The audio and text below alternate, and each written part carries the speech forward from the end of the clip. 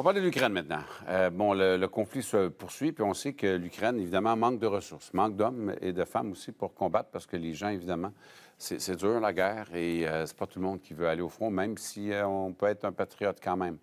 Mais il faut de l'argent, puis les, Ukrainiens ont ce problème-là. Et là, pour aider les Russes, les, les, membres du G7, ce qu'ils ont décidé, c'est d'utiliser les profits de l'argent saisi aux Russes. Ce qu'il faut savoir, c'est que l'Union européenne et les pays du G7 c'est 300 milliards de dollars, euh, d'euros, euh, d'actifs de la Banque centrale de la Russie qui a été euh, gelés, nous dit l'Union européenne. Ils ont saisi des actifs privés aux personnes qui sont proches de Vladimir Poutine, des gens qui ont beaucoup d'argent. Donc, ce sont des milliards de dollars qui sont gelés. cet argent-là fructifie, il ne veut pas, c'est en banque. Et là, on va donner 50 milliards à la Russie à l'Ukraine, pardon, pour combattre la Russie. Le Québec va contribuer, le Canada va contribuer à la hauteur de 5 milliards de dollars. Comment on fait pour utiliser l'argent des Russes pour financer la guerre contre les Russes? Guillaume Lavoie va nous dire ça. Il est membre associé à la chaire Raoul d'Endurance. Salut Guillaume, merci d'être avec nous. Bonjour Michel. Alors, on parle beaucoup de ces, de ces, sommes importantes qui ont été saisies depuis, euh, depuis le début du conflit, mais là, on se rend compte que le G7 va utiliser ça contre contre les risques. Comment ça fonctionne? Comment on fait un truc comme ça? Alors, au départ, ça peut paraître hyper simple, c'est-à-dire que, appelons ça le camp des alliés, on saisit de l'argent qui appartient à la Russie dans leur compte, et là, ils mettent euh, un haut là sur tout ça. Et plusieurs disaient, ben, puisqu'il manque d'argent pour aider l'Ukraine, on va piger dans ce réservoir assez gigantesque de 300 quelques milliards. Sauf que ça vient vraiment ici en contradiction avec un principe majeur en droit international, qu'on ne peut pas saisir le bien des autres sans compensation. Il y a un mot technique pour ça, c'est un vol. Alors on ne peut pas être dans le camp de la légalité et de l'état de droit et de dire, bien, parce que je me donne raison, je vais prendre cet argent-là. Et puis, qui, est-ce qui empêcherait plus tard, un jour, on a créé le précédent, ben la Chine de saisir de l'argent ou des actifs canadiens et autres? Alors là, il faut trouver, inventer de nouvelles manières. On dit pourquoi on ne prendrait pas cet argent-là, on va la mettre en banque et on va juste prendre les intérêts de ça et ça va adosser notre prêt à l'Ukraine. C'est avec ça qu'on va se rembourser. Puis c'est presque 3 milliards de dollars d'intérêts par année. Alors, quelque part, c'est l'argent russe qui crée des intérêts qu'on va prendre pour aider l'Ukraine qui en a vraiment, vraiment besoin. Puis il y a du génie de Joe Biden là-dedans parce que autour de la table qu'on regarde, il y a beaucoup de gens là-dedans qui sont peut-être sur du temps emprunté. Euh, M. Trudeau n'est pas là ad vitam aeternam. M. Macron vient de déclencher le bordel politique total dans son pays.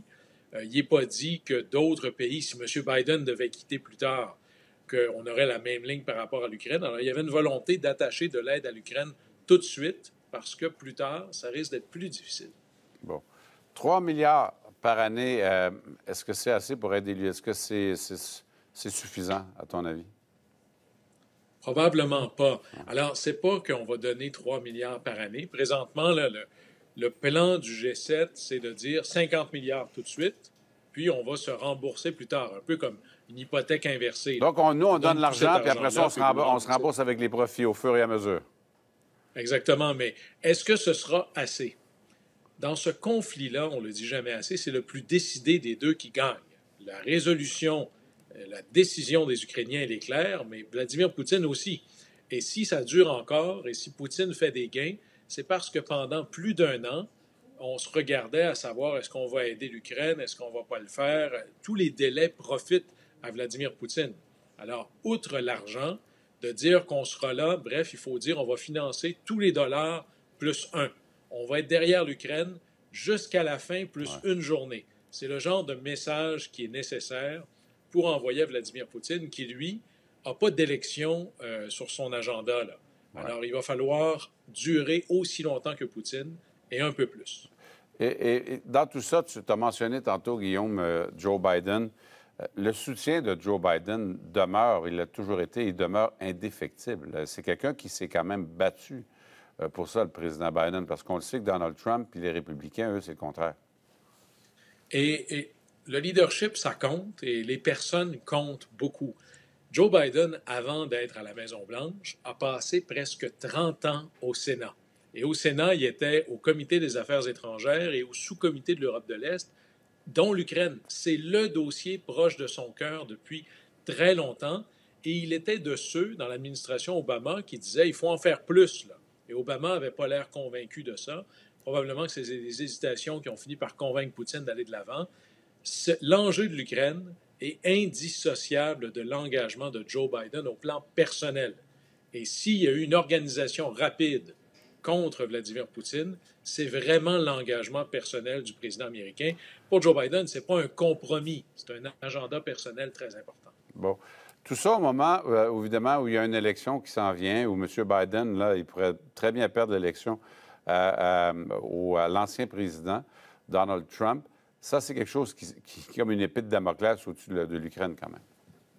C'est probablement le plus grand espoir de Vladimir Poutine, le plus grand désespoir potentiel de l'Ukraine, parce que le positionnement de Trump, d'abord, il a été très clair déjà en disant, je ne vois pas pourquoi on est en guerre là-bas pourquoi est-ce que moi je donne de l'argent à l'Ukraine alors qu'il y a des pays qui sont plus proches? Et à la fin, pourquoi est-ce que je ne pourrais pas juste m'entendre avec euh, Vladimir Poutine? Puis en gros, ce qu'il dira à Poutine, c'est qu'est-ce que je peux faire pour t'arranger ça? Moi, tout ce que j'ai besoin, c'est que le conflit arrête. c'est très facile d'arrêter le conflit. Ben oui. juste à donner à Vladimir Poutine tout ce qu'il veut. Évidemment, ça n'aura pas des conséquences négatives pour l'Occident demain matin. On est en train de s'acheter du trouble pour les 5 ans, 10 ans à venir. Mais là-dessus, euh, le président Trump n'est pas du tout dans cette logique-là. Ce qui l'intéresse, lui, c'est un mouvement isolationniste en disant c'est pas mon problème. Puis à la fin, j'en ai pas de problème, moi, avec Vladimir Poutine. Il n'est pas dans une guerre civilisationnelle comme bien d'autres alliés là-dessus. Guillaume, on voit des images au moment où on se parle, les images que les gens voient en direct à la TV nous parviennent. Euh, euh, c'est justement la photo de famille qu'on est en train de prendre au G7. Et il y a un visiteur euh, quand même important, euh, le pape François, euh, qui est sur place là-bas. Tu t'attends à quoi du G7 en, terminant, Guillaume? Bien, d'abord, le premier gain, c'est vraiment la question, c'est essayer que le monde industrialisé soit enligné clairement pour l'Ukraine ou sinon pas pour la Russie. Et à date, là, on semble avoir pour autant faire que ce peut. C'est un gain important. Puis en, marge, euh, on parle beaucoup au Canada en disant Attention, Canada, le sommet sur l'OTAN s'en vient. C'est assez d'arriver au restaurant, de manger comme les autres, être assis à la même table, puis d'être aux toilettes quand c'est le temps de payer. Si vous voulez être assis à la même table, va falloir payer la même facture que les autres. Euh, la pression augmente beaucoup. Est-ce que les promesses de dernière minute du gouvernement Trudeau vont être assez pour convaincre les autres? Euh, certains diront, ça fait longtemps que vous nous promettez ça. Alors ça, ce sera le test des prochains mois. Intéressant, intéressant. Merci beaucoup, Guillaume. Au plaisir. Bonne journée.